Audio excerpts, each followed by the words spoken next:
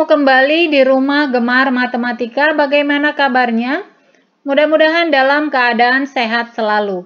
Untuk kali ini kita akan membahas cara menghitung keliling lingkaran. Ada dua cara yang akan kita gunakan kali ini. Silahkan disimak dengan baik, namun sebelumnya jangan lupa untuk tetap dukung Rumah Gemar Matematika dengan cara like, subscribe, dan tekan tombol loncengnya supaya bisa mendapatkan notifikasi video-video terbaru. Kita masuk ke pembahasannya, kita mulai dari yang pertama yaitu rumus keliling lingkaran. Untuk menghitung keliling lingkaran ada dua rumus. Kita mulai dari yang pertama yaitu K sama dengan 2 dikali Pi dikali R. R di sini adalah jari-jari ya. Untuk rumus yang pertama ini 2VR ini kita gunakan jika diketahui jari-jarinya. Kemudian rumus yang kedua adalah K sama dengan Pi kali D atau diameter. Nah, berarti rumus ini kita gunakan jika diketahui diameternya. Kemudian untuk I ada dua. Yang pertama yaitu 22 per 7 22 per 7 kita gunakan jika jari-jari ataupun diameternya merupakan kelipatan 7. Nah, untuk kelipatan 7 itu berarti penjumlahan 7 secara berulang ya, atau perkalian 7. 7, 14, 21, 28, dan seterusnya. Tinggal ditambah 7 saja. Kemudian untuk Pi yang kedua yaitu 3,14.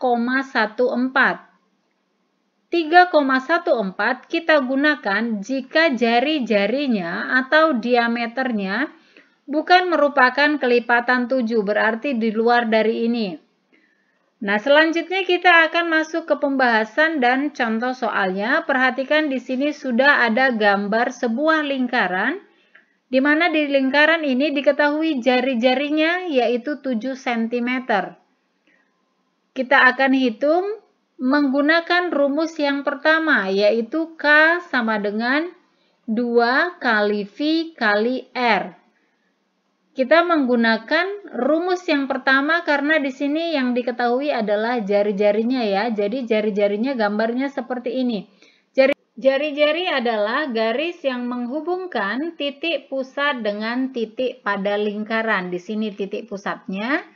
Nah, ini titik pada lingkaran pada ujung sebelah kanan ya. Nah, selanjutnya kita akan hitung tinggal mengikuti dengan rumus tersebut yaitu 2VR atau 2 kali V kali R. Kita masukkan keliling sama dengan karena di sini 2 maka turunkan saja duanya. Kemudian Pi Tadi di awal disebutkan bahwa pi ada dua penggunaannya. Yang pertama yaitu jika jari-jarinya kelipatan 7 maka kita menggunakan 22 per 7. Atau jika jari-jarinya bukan kelipatan 7 kita menggunakan pi 3,14. Karena di sini jari-jarinya adalah 7 cm, ini merupakan kelipatan 7, maka pi-nya kita gunakan yaitu 22 per 7. Selanjutnya dikali, karena di sini kali jari-jari atau R. Jari-jarinya di sini adalah 7, berarti dikali 7. Kita hitung bisa dengan cara mengalikan yaitu 2 dikali 22 dikali 7, kemudian nanti dibagi 7. Nah, sekarang kita akan menggunakan cara cepat saja, yaitu kita bagi 7, kita bagi dengan 7 yang ada di atas. 7 di atas dan di bawah dibagi. 7 dibagi 7 sama dengan 1. Sekarang kita akan hitung. 2 dikali 22 sama dengan 44. Kemudian 44 dikali 1 sama dengan 44. Maka kelilingnya adalah 44 cm. Contoh yang kedua, perhatikan gambarnya. Di sini masih menggunakan soal dengan jari-jari. Jari-jarinya 10 cm. Karena masih menggunakan soal dengan jari-jari, maka rumus yang kita gunakan masih sama, yaitu 2 kali V kali R. Kita ikuti sesuai rumus, 2 dikali, Pi-nya yang mana? Perhatikan jari-jarinya, jari-jarinya adalah 10 cm. 10 bukan merupakan kelipatan 7, maka untuk Pi yang kita gunakan adalah 3,14. Kemudian dikalikan dengan 10. Kita hitung dari depan yaitu 2 dikali 3,14. Kita hitung menggunakan perkalian susun ke bawah. Perhatikan cara penempatan angkanya, duanya kita letakkan dari angka belakang ya. Kita mulai hitung 2 dikali 4 sama dengan 8. Kemudian 2 dikali 1 sama dengan 2. Selanjutnya 2 dikali 3 sama dengan 6. Nah, di sini hasilnya 628. Ini belum hasil akhir karena di sini perkaliannya merupakan perkalian bilangan berkoma atau desimal. Cara untuk meletakkan komanya adalah kita hitung ada berapa angka di belakang koma, di sini komanya kita hitung ada berapa angka, 1, 2. Di belakang koma ada dua angka, maka ini juga kita hitung dua angka dari belakang. Berarti 1, 2. Komanya berada di depan 2. Sehingga hasilnya menjadi 6,28. Selanjutnya dikali 10. Kita hitung, kita kalikan saja. Ini dianggap 628 supaya lebih gampang. Komanya kita hilangkan terlebih dahulu ya. 628 dikali 1 saja. Hasilnya adalah 628. Kemudian 0 yang ada di atas turunkan. Itu cara untuk perkalian ya. Kemudian kita akan meletakkan komanya sama seperti tadi perkalian yang di sini. Karena di sini di belakang koma dua angka, maka ini juga kita hitung dua angka dari belakang. Kita mulai 1, 2. Komanya berada di depan 8. Sehingga di sini menjadi 62,80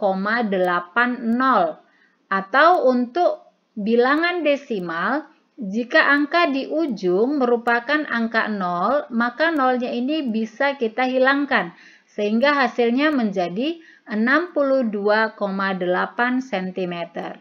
Ini contoh soal yang menggunakan rumus 2VR yaitu jika diketahui jari-jarinya. Kita masuk ke contoh berikutnya yaitu jika diketahui diameternya. Perhatikan di sini sudah ada soalnya, lingkarannya, di mana diketahui diameternya 21 cm. Kita akan hitung kelilingnya, karena di sini diketahui diameter, maka rumus yang kita gunakan adalah K sama dengan V dikali D atau diameter. Kita ikuti saja. V Pi-nya yang kita gunakan 22 per 7 atau 3,14. Maka perhatikan terlebih dahulu diameternya. Diameternya di sini adalah 21 cm. 21 merupakan kelipatan 7, sehingga untuk Pi yang kita gunakan adalah 22 per 7. Kemudian dikalikan dengan diameter, yaitu diameternya 21. Kita hitung bisa dengan cara 22 dikali 21, kemudian nanti dibagi 7. Tapi kita pakai cara cepat saja, karena di sini ada angka 7.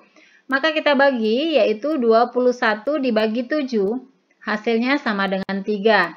Sehingga sekarang menjadi 22 dikali 3, hasilnya sama dengan 66. Maka kelilingnya adalah 66 cm.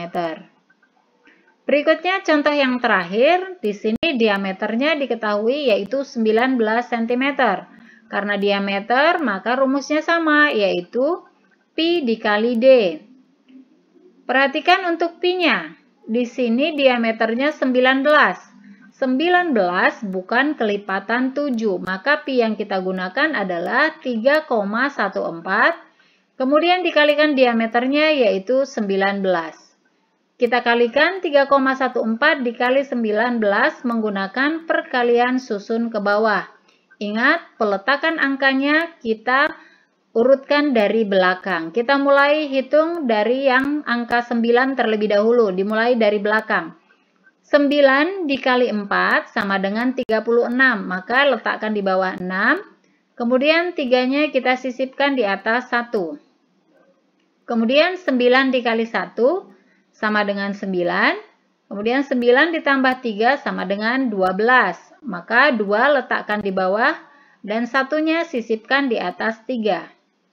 Berikutnya ke depan 9 dikali 3 sama dengan 27. Kemudian 27 ditambah 1 sama dengan 28 kita letakkan di bawahnya. Sudah selesai perkalian untuk angka 9. Selanjutnya kita masuk ke angka yang di depannya yaitu angka 1. Sama kita mulai dari belakang. Yang ini yang di atas kita coret karena ini sudah selesai kita hitung ya. 1 dikali 4 sama dengan 4. Letakkan di bawah 2. Jadi ingat untuk angka yang kedua kita meletakkannya maju satu langkah ya. Kemudian 1 dikali 1 sama dengan 1. Letakkan di bawah 8. Peletakan angka maju ke depan ya. Kemudian 1 dikali 3 sama dengan 3. Sudah selesai seluruhnya, maka kita jumlahkan. Dimulai dari belakang. 6-nya turunkan. Kemudian 2 ditambah 4 sama dengan 6. 8 ditambah 1 sama dengan 9.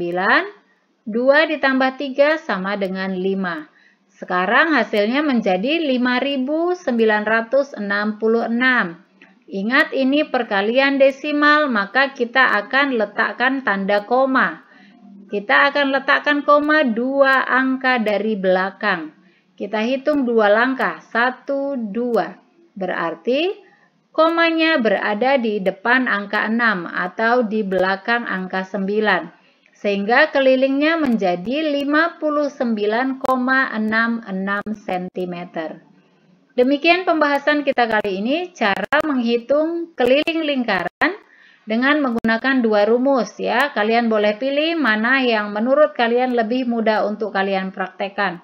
Mudah-mudahan video kali ini bisa bermanfaat. Terima kasih dan sampai jumpa.